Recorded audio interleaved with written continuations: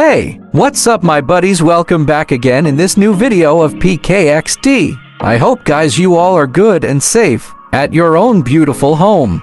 Guys, new update is already on the way, and very soon we'll see something new or maybe something mysterious in our universe.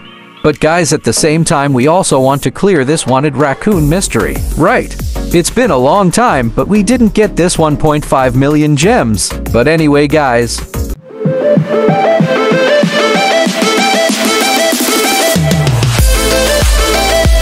Guys, now I'm gonna the moon, because we heard about Flicker. Who's sitting there? And maybe he's there for a mission, maybe a danger of whole universe. So guys, let's boost the speed. I'll see you there on moon.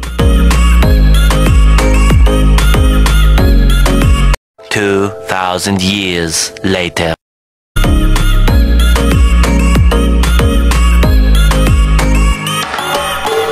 Guys, can you spot the flicker? Who's sitting at the corner of moon? Oh my god.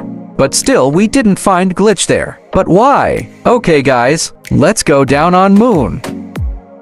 You can see Flicker is here, and he's an eye on our beautiful universe. Really, I don't know. What's his new target? Look our universe, guys. It's looking so cute and also very small from here. Guys, it may be possible Flicker want to fall some more meteorite on our universe. But you don't worry guys, Morgana and Scientist with us, and they're already in a team.